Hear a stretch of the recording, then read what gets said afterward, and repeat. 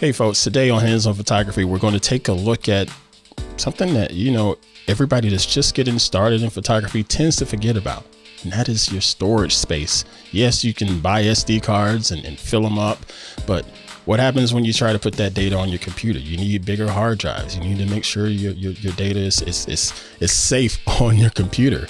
And you have options. You have backups, you have RAID, and you have NAS. Mr. Terry White is going to join us today, and we're going to talk about NAS and how we can put this into your workflow. Y'all stay tuned. Podcasts you love. From people you trust. This is Twit. Tech experts Leo Laporte and Micah Sargent team up to answer all of your burning tech questions. From the latest gadgets to tried and true tech tips, Leo and Micah have the knowledge and expertise to help you get the most out of your technology. So, whether you're a tech novice or a seasoned pro, join Leo and Micah each and every week on Ask the Tech Guys. Send your questions to atg at twit.tv or join us each and every Sunday at 11 a.m. Pacific via Zoom. Just go to call.twit.tv.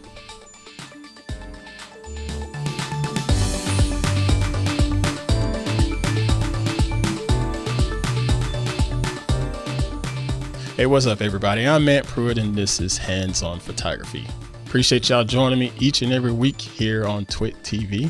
Really does mean a lot. I love to sit down and share different tips and tricks with everybody that's trying to get better in the world of photography and post processing. And every now and then, I get the the, the chance and, and fortunate blessing to be able to sit down with some professionals out here in this space that are doing some great things in the world of photography. And this week is is another one of those week. I am so daggum honored to finally be able to quote unquote meet this this man here. Uh, he's been around in the photography space for a long time. You may know him as a, um, a, a Adobe Photoshop and Lightroom evangelist, uh, professional photographer that's been doing a lot of big things as far as uh, tutorials and, and, and, helping people grow in this space. Uh, his name is the wonderful Mr. Terry White. I'm going to shut up and bring him on the screen right now. Mr. Terry, how you doing, sir? I am doing great, and I'm glad we finally connected and we finally got to do this. Yes, finally, sir. Thank you so much. This it's, it's been a, a, a long time. I've been following you for gosh, I don't know how many years because full disclaimer, I am an authorized Adobe affiliate, so I've been using Adobe products for I don't know how many years now, whether it's Lightroom or Photoshop or Premiere, After Effects, the whole shebang not really fooling around with Illustrator as much as you can, but no, it's not my thing. But I've been I've been yeah, enjoying the Adobe products.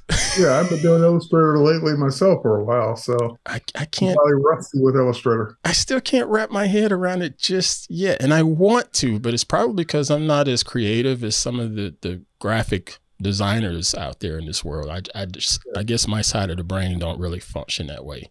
But give me well, some, give me a camera, like, I'm good to go. Work vector work takes skill from the standpoint of usually you're you're creating something on a blank page. Yeah. Whereas with photography, you're starting with a photo, so right. it's a lot easier. A lot easier, a lot easier.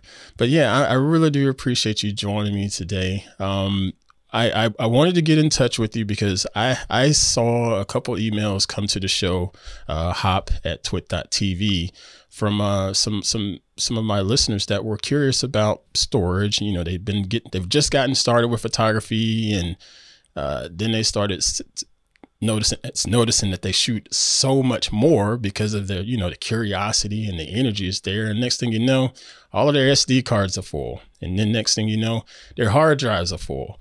And then they're like, mm-hmm. holy moly, what am I supposed to do? Am I going to delete this stuff? What am I going to do with it? And the first thing that came to my mind was you need some type of network attached storage. But as soon as I saw that email, those emails, I came across a blog post from you talking just about network attached storage or NAS is what most people say it in this world. And I was like, I need to get him on because he's going to be able to explain this way better than I can. Even though I have one and use one, but I wanted to dive into the aspect of, all right, first off, what is a NAS and what are some of the options and, you know, what, what prompted you to go into do go ahead and do the blog post that you just recently did? In order to explain what a NAS is for people that, especially you have no idea, or you just like that terminology doesn't mean anything to you, let's start with the very basics. So, what's a hard drive? Hard drive, we all know, it's either inside your computer or externally. Plug it in. It's a certain size, you know, six terabytes, eight terabytes, ten terabytes, twenty terabytes, whatever it is. And uh, when you format it and start copying things to it, it's just like a it's like a container. You can fill fill it up. You can take things out and throw them away, and it's that drive. Um, the problem though is that you're storing like things that can't be replaced. Those are your photos. So, for example, if I do, if I write a story or a blog post and I save it as a Word document to that drive, and something happens to that drive, I can probably write another story. It won't be word for word, but it, I can tell the same story again. The problem with a photo is if something happens to that drive, that photo's gone. Like there's there's no going back in time and recapturing that exact photo again. You might be able to go back to the same place, but it will never be the exact same photo. You might even be able to photograph the same person, but it will never be the exact same photo. And when you compound that by the tens of thousands of photos we're taking, uh, storage becomes a very important thing. So the next step up from storing things on a hard drive and having them protected is what we call a RAID, R A I D in all caps. Uh-huh. And a RAID, I'm sure it's an acronym for something. I just don't know what it is off the top of my head. A RAID is basically it, it, it helps protect you from drive failure. So think of it this way: instead of your single drive that could fail, and hopefully you have a backup, uh, a RAID says I'm going to take two or more drives, and I'm going to mirror the contents automatically from one to the next. So technically, if either drive were to fail, you wouldn't lose anything right. because the data has already been copied on another drive uh, So- as you were working automatically. So RAID is not a backup. That, that that's No, what you're it's saying. Not a backup. It is not a backup Have to be clear about because if I break into your home and I take that raid, uh, what are you going to do? It, it's gone. that because that If, can't happen. um, if the the if they get a virus on the raid and it corrupts the files, there's no backup because the, the the corruption will be mirrored to the other drive. Man, So what, if you accidentally delete a folder of images, they're going to be deleted off both drives. So a RAID is not a backup. It's simply a way to protect against the most common form of data loss, and that is hardware failure. right. So Right. if the drive were to fail, you would just replace the one that failed. You wouldn't lose anything. Away you go. That's all a RAID does. That's it. Man. It protects you from drive failure. Now, the next step up is what we're talking about today, hmm and that is taking that RAID, which could be directly attached to your computer, which, like for example, I'm coming from a I'm coming from a RAID that was directly connect, attached to a computer, hmm to what's called a NAS, which is a network attached storage unit. So think of that single box that has two or more drives in it, and instead of it being plugged into a computer via a USB port or or a FireWire port or FireWire, Firewire. Or- what? I know, it's been a minute. or because I, I just I just saw a FireWire cable in my drawer, an old cable, or uh, Thunderbolt. That's what I meant to say. Thunderbolt cable. Um, instead of it being directly connected, it has an actual Ethernet port on it. right. So you just plug it into your network, and all the computers on your network can see and access that drive. So it's still a RAID. It's just connecting to your computer differently over the network than being directly connected via USB or Thunderbolt cable. Now, with it Um, being on the network, what is what is some of the what's the advantage of it being on the network versus being directly attached to your computer? The biggest advantage is it's not tied to one computer. Okay. So, for example, if I plug a if I plug a RAID into my my laptop, I'm usually the only one that can access it.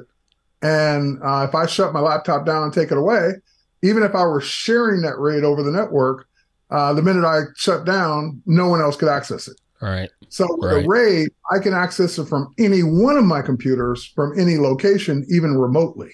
Right. So with, with, a, with a NAS, I should say. Nice. So that's the biggest difference between it being network attached versus directly attached. Now there's the there's a downside. It's potentially going to be slower because it's working across your network as opposed to being directly attached to a via a cable, which is probably a faster throughput.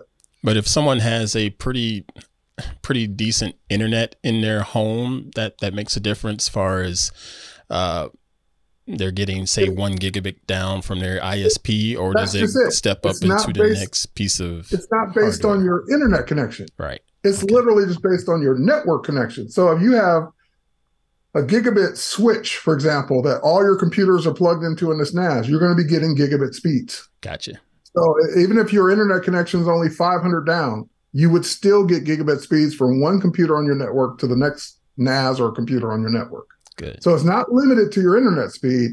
It's just limited to your network speed. Internal local area. Internal, network. right? Local area network. Exactly. Gotcha, gotcha. Now, now with that said, so that sounds like you need some decent hardware. Uh, the the NAS options that are out there, the list is just a gazillion pages I- long. If, if you go and search for NAS right now on Amazon, you're going to see so many different things. Right. Uh, what are some of the things to look for when it comes to the actual NAS hardware? Um, is Well, it just a and, certain and this drive? is probably why I kicked my decision down the curve down the down the road a couple years. Like I've been wanting to do this for like two to three years, and I just finally said I'll do it. But right. One of the reasons I kept delaying it was because there's so many options from so many different companies, and they don't make it easy. Right. For example, I ended up going with a company called Synology, and I'm not sponsored or funded by them. So full disclosure, they don't they don't even know I exist. But um, if you go to their website, all you see is a is, is a, model number. DS one six four two versus DS eight three nine two. Like I don't know what. And then DS four two eight three nine two plus. Plus, right, right. So, um, in the hardware, what you're really looking for is you're you're deciding mostly on how many hard drive bays you want. Mm, So, a, a NAS is usually going to start with at least two, and can go up to eight or Mm. even higher, depending on the the model you get. mm, So, I settled on a five bay, meaning it can hold five drives Mhm. Unit, which is the um, DS. I'm not even remembering the model number. It's the DS 1522. I 22 think, plus, plus. 15, 22 Yeah. plus. Yeah, that's that's the one I settled on. And the reason I went with that one is because the the raid I was coming from, which was a Drobo, great company that has gone. They, they were a victim of the pandemic and they pretty much are out of business. Yeah. I had a five bay Drobo. So I figured, okay, I'm used to a five bay unit that gives you plenty of room for storage, plenty of room to expand, and that way, um, I, I'm used to that that format already, and that's why I went with a five bay unit. Could I Mhm. have gotten by with a four bay unit? Sure. So again, uh, most of the, the the folks listening and watching hands-on photography, there are people that are just getting started uh, with photography, or they're more along the lines of an intermediate photographer. Uh, do you recommend bothering with the two bay NAS? Because I don't. I don't because here here's why we- like you because if, if you're new, you're saying, well, what's the difference? Two versus three versus four versus five. Like what what? And I don't think there is a three. But what's the difference between a two, a four, and a five? Mm, Well, if you think of it this way, with a you need at least two drives. So if you put in if you get a two, you're going to put two drives in it right away because Yep. one's going to mirror the other one. right. If you went with a four, you could still just start with putting two drives in it, but two two slots will be empty for you to expand later. So the other advantage to having four or more is that you don't have to put in big drives to have a ton of space. hmm So you could go with four smaller drives that cost less than if you only had two bays, having to put in two big expensive drives because you need that much storage. hmm So that's another advantage with going with four or five bays is that the drives themselves can be a smaller capacity and therefore cheaper. Right. So, okay, with that said, let's say said new photographer has now been doing this for five, six years.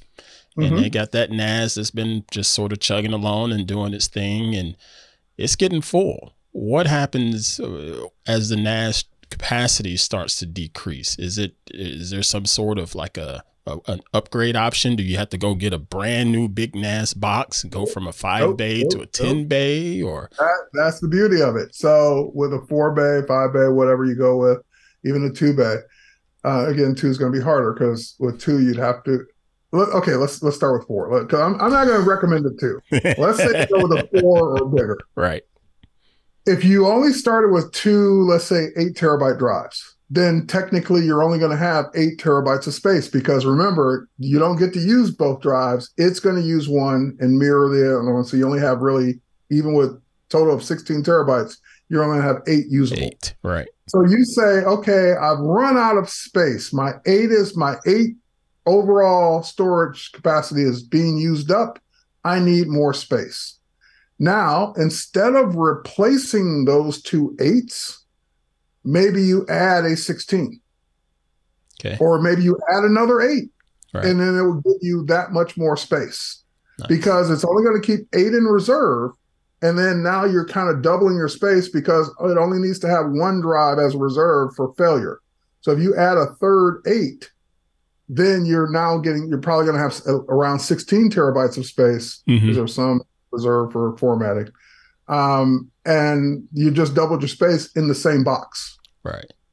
Now, and even if you filled up all f- four or five bays and you're running out of space, you pop one of those drives out, pop a bigger one in, or pop two out, pop two bigger ones in, and you regain that space immediately without losing any data, without having to start over, without having to recopy anything. It's that's what that's the beauty of a NAS with a RAID in it. That's just awesome to be able to just literally just hot swap it out uh, and and just keep moving on because of the sure. The the the bat the RAID functionality that's built into it. Yep. Now, what are some of the pitfalls that that you experience with with setting up a RAID? Because I I know the RAID manufacturers or OEMs are wanting to sell us on ease of use and things like that, but again everybody's not computer savvy or tech savvy like mm-hmm. that. Um, so sometimes things can be a bit confusing. Did you see any type of potential pitfall someone would run into regarding setting up their first NAS for photography? I gotta say, and again, uh, not no sponsorship here. I gotta say, Synology was really easy. Like they like you, they walk you through it like you don't know what you're doing, nice. which is great. nice. They walk you through. They don't make any assumptions. So you they they like the first instructions is literally take it out of the box, put your drive in, connect the power cable, connect your Ethernet cable, turn it on. And then look here, you, you idiot! Use this right, power cord right here right, and plug it into the right wall. Right here, picture of it. and then they uh, the next step is literally go to go to a browser on your on your computer, right? Type in this URL, which will automatically find the NAS on your network, and then you start the setup process. Nice. It downloads the most current operating system from Synology, and then uh, now that you've got your drives in, it's going to ask you how do you want them formatted. You tell it because it'll, it'll tell you the choices, and you format the drives, and that takes time and right. then once the drives are formatted, you create a, a user account, and you know which you have done, already done that, mm-hmm. and you create you start creating your shared folders, your folders that you would actually access to put your folder, photos into. Okay, that's pretty much it. So so now you you you just mentioned web browser and user account and shared folders. That yep. that that that sounds like you can access this, this these the, the contents of these drives from anywhere as long as you have an internet connection. Is that correct? You can. Okay. So, so now mention remember I mentioned earlier your internet speed is not impacting how how fast it works on your network. It's your network speed. Right. But once you leave your house or leave your studio mm-hmm. and you're connecting to it over the internet, then it is obviously based on the speed of your internet connection. So if you have, if you're in a hotel with a slow connection, you're gonna have slow access to your NAS. If you're right. in a Starbucks with fiber, you're going to have great access to your NAS. So it just depends on the internet connection outside your house and of course inside your house too because it's it has to have a fast enough connection to send data back and forth and does this give you um so it does give you two-way access where you can not only oh, yeah. retrieve but you can also upload to your NAS outside and, of your local network and even and Synology even has mobile apps so if you're taking pictures oh, on nice. your phone there's a Synology Photos app that it will automatically back up the photos from your phone and they are on your NAS when you get home. Nice. I like that. Now, let's talk about the workflow of a photographer that's opening up, you know, one of my favorite apps, Adobe Lightroom Classic. I know Adobe's going all cloud and stuff. And, yeah. Sir, I'm not there yet. I'm, oh, yeah. I, I'm it's, it's really a choice. It's, it's not, you have to, you're not, you're not forced into the cloud version. You stick with classic. I use classic mostly. So just I love the catalog functions. You know, it makes a huge difference from a organization but, standpoint for me. You know, but you know what though, you and I have been using it for years. We're used to it. We understand it. The new person that we're also talking to, mm-hmm. that may be intimidating. It may be even intimidating to think about having to store thousands of photos and back them up. Right. So that that's also who that cloud version appeals to is that person that says, no, you know what? I just want to import them, know they're backed up, and not have to think about it. Right. So using a NAS with with Lightroom, how how how is it the workflow with using something like Lightroom Classic? Because I know inside of Lightroom Classic, I have all of the ac- I have access to all of the folders on my local system. Yep. Whatever computer I'm looking at, and I can so import. my work. Yeah, my workflow typically is I, I, go do a shoot or I do a shoot in studio and I'm tethering and the images are coming into a folder on my local hard drive. Mm-hmm. Um, so let's say just a round number, I took 300 shots and I'm going to work on those 300 shots locally. I'm going to cull them. I'm going to remove the ones that are bad. I'm going to keep the ones I like. I'm going to share them with a client. The client's going to pick the ones they like. I'm going to edit. I'm going to do it in Photoshop, Lightroom, all that work and now and i'm going to deliver the final images once that whole process is done mm-hmm. like done everyone's happy everyone has their photos i'm i've updated my portfolio everyone's happy and i'm not touching that folder anymore because i'm done. Uh, like everyone's got everything they need. Right. Obviously i'm not going to throw it away because yeah, I, I still want those photos. They may come back and want those photos. Right. So i'm going to go in lightroom classic and literally move that folder to the NAS in Lightroom Classic. Nice. And it's going to it's going to move it off my internal drive, my local laptop drive, and move it to the to the network storage folder. So wait a minute. So there's no closing Lightroom, going into nope. Finder, Windows Explorer, what have you, grabbing that folder and then dragging it that way. You can just literally do it all within the Lightroom Classic. Some interface. people will tell you that you should you're better off doing it that way in the operating system because it's safer. And I'm going to tell you that in all my years of doing it directly in Lightroom Classic, I've never regretted it. Uh, okay, all right, I'll I'll try it. I, am a little nervous. I'm a little nervous, but I'll try it because here's why. Here's why I tell, especially a beginner, to do it that way. Uh huh because unless there's some crash or power outage or something weird happens during that process, it is work 100% of the time for me. Wow. And when you do it that way, Lightroom Classic manages the new location. So it says, "Oh, you move I'm move I'm moving them for you from one location, one drive to another. I know where they are. You're done." Ah, uh, okay. Cuz yeah, that that does come into play when you have to try to relink yeah. stuff in the future. Right Oh, that's brilliant. Okay. Yeah, that's right. why you do it in Lightroom because it it then knows where they are. Okay. All right. I'm I'm I'm going to try to have some faith and try it. Yeah. and try it. Small folder first. Copy the folder to the desktop. Make sure it's backed up. All right. First. Make sure I have a backup ready. right, ready to go, just in case.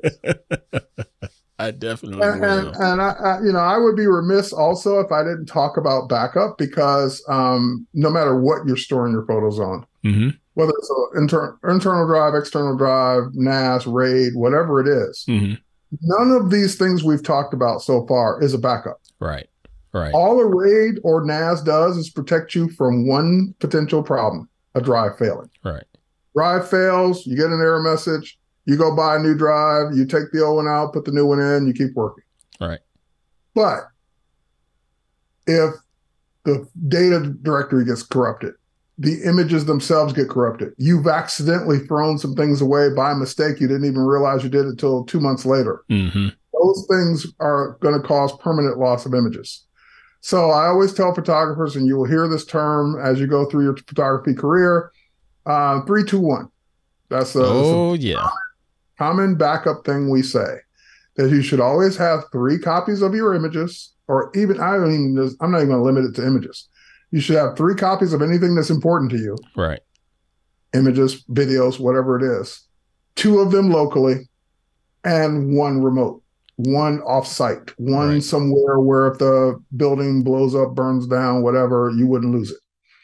So my NAS backs up to an 18 terabyte external Seagate drive that's USB plugged directly into the NAS. I, I set it up once, don't have to think about it. It backs up every night at 2 a.m. hmm So if the NAS completely blew up and just melted in, in place, I plug that drive into a new NAS and just copy everything back over. Nice. But Also, that's local though. that's local. So that's copy number two. Copy number three, the NAS is automatic because the NAS basically is is a computer, so it can run applications. So it's running an application that backs it up to a cloud service as well. So that, and of course, I'm backing up um, 12 terabytes to the cloud. So that takes a minute. Yeah.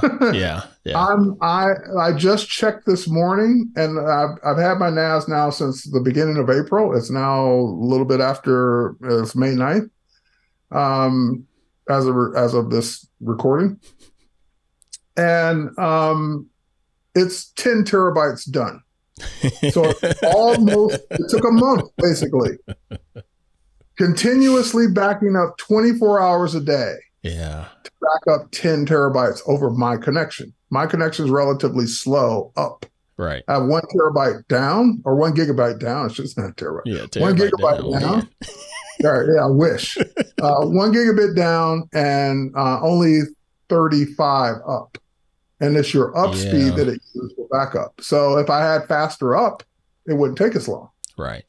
With Right. 35 up, it's it's taken it's going to be probably be finished sometime this month. So I would say 2 months to back up 12 terabytes to the cloud over my internet connection. Now there are some cloud backup services, and I use Backblaze for example. love I- Backblaze. I, love them. They make it super easy, but Backblaze does have some caveats in their terms of service. Uh, I've mentioned this on one of our other shows on the network, Ask the Tech Guys, because people have asked about using backup services. And when you use Backblaze in particular, in their terms of service, it mentions that once a drive is disconnected from the machine, you have X amount of days before Backblaze will get rid of it. Because as far as they Yep. know, that drive doesn't even exist anymore. I know, and that's weird because you're paying them. Right. it doesn't So if I'm paying you, I'll tell you when I'm no longer need, when I need that drive. I need you to do it automatically. They're like, no, we, we're going to take this space back, you know. So if you get it back on Yeah. there, then you can re-back it up. But they, I guess Yeah. they just assume that if you disconnect something and it's gone for 30 days, it's never coming back. So they just Right. let it go. And, it's funny you should say that because I, I'm I'm I'm a Backblaze customer for all my other computers, and my previous Drobo RAID I was backing up to Backblaze, Mhm. and it's now disconnected for about you know 30 days, 60 days almost. And I, I did get the one email warning so far, um, but I didn't even look and see what the dime is. Now, so I'm hoping before they delete it, my other backup will be in place. So then Right. I will still have my three copies. And I, I still have the, the drives from the Drobo. So there's I still technically have three copies no matter what. Right. But then Um, now also, I will give you I will give you one other benefit to a NAS. Mhm. With a computer, you're most likely going to back up to some cloud service, whether it's Backblaze or somebody else. With a NAS, Synology gives you the option to back up to another Synology ah, okay. over the internet. Right. So if you said, screw cloud services, I don't want my images in the cloud, I want to manage it all myself, then it will cost you money because you're going to have to buy the second Yeah. NAS Right. and buy the drives for the second NAS. But let's say I decided I didn't want to do cloud. Then I would buy a second one, put the drives in it, set it up, tell tell the first one to back up to the second one locally, let it finish the first backup. hmm Then I would take that second Synology to an office building, my my work address Right. my uh, neighbor's house, my relative's house, plug it into the network there, and then it will continue the backups over the internet. Nice. So that's that's again, giving you off site. Right. It's offsite, It's off and you're not having to pay a monthly fee. Right. But you did have an upfront hardware cost. Yeah. And that's probably worth it to some people. That's that's Yeah. that's a heck of an idea. Good stuff. Wow. Mr. Terry, this has uh, been quite, quite informative. I really do appreciate you sharing all of these tidbits. And again, I have a NAS that's back here behind me. It's just chugging along. And mm, I know I should upgrade this device, but man, it gets a little bit confusing out there. I know. And I and, and you know, again, go back to what I did before the Synology. I had a Drobo or multiple Drobos over the years. Yeah. I've been using Drobo probably 20 something years. Yeah. Drobo had You a nice presence at the. TWiT studio was- as well. It was very easy. You didn't have to know anything about it. You just buy the unit, plug your drives in, connect it to your computer, away you go. I've had drives fail over the years. I get the red warning, no problem. Pop the Oh. old drive pop the new bigger, I usually go bigger, Yep. pop the new bigger drive in, keep working. It was beautiful.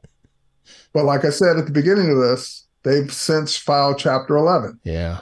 So while I'm not, while I was using the Drobo, I wasn't worried about a, a drive failure because that's what it does. It protects against that. But what if the unit itself died? What if the power supply died? What Mm. if, what if it just stopped working one day? Mm. It's not like I could call Drobo up and buy a new one. All right. So that's when I finally decided, you know what? It's time to say goodbye to the Drobo and switch. Oh man. Well, now you, you're making me feel even worse. So I guess I better go ahead and just get the dadgum credit card out and, and go. like I said, I delayed that decision for two to three years because again, it's hard to it's hard to spend money on something that's working fine. And Right. the Drobo was working fine until I took until I physically disconnected it. Wow, man, again, Mr. Terry, thank you so much for joining us today. Um, I really do appreciate this time and all of this information and tidbits. Again, we. I know you as being the worldwide evangelist of Photoshop for for everybody over there at Adobe and that great team. And uh, I know you, you you hang out and chat with my buddy Mr. Jason Levine as well. So next Oh, time you talk to him, please send him my love. I, I love that dude. Actually, I could just text him. He's I got his number, but I should just text him just to make sure I, he's I doing we well. were texting earlier today. Oh, that's good stuff. Love that dude. Where can we find some of the stuff that you're working on, or if uh, if you have any other presentations coming up? Because I know you do Sure. things on YouTube for Adobe as well as with your I- I channel. spent- The last year consolidating everything I do to one one spot. yeah. Basically, if you go to terryleewhite.social, nice. that links to everything I do. My blogs, my YouTube channel, my videos, my schedules, my presentations, my portfolio, everything I do is on terryleewhite.social. Absolutely brilliant. yeah, well, the, the thing that started that because that's just a that's just a landing page. That's just a, like Right. a link in bio kind of page. It's a Linktree.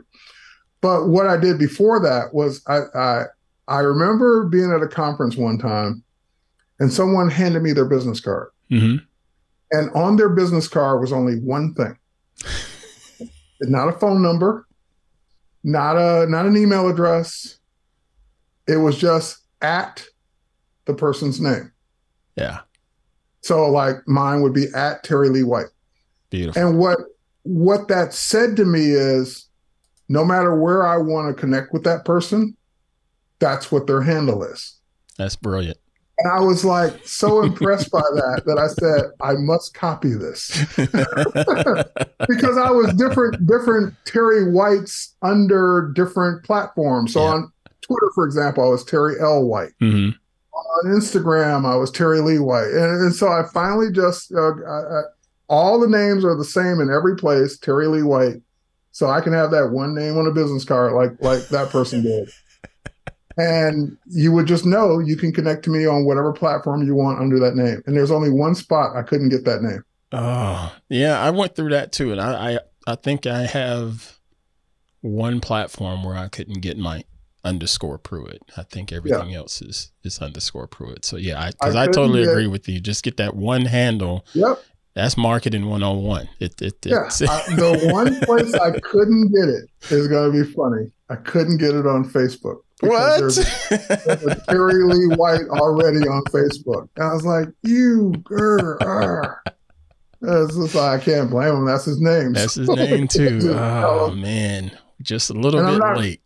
yeah, I'm not willing to buy it from him. So No, no, it's no, just it's not no. worth it. no.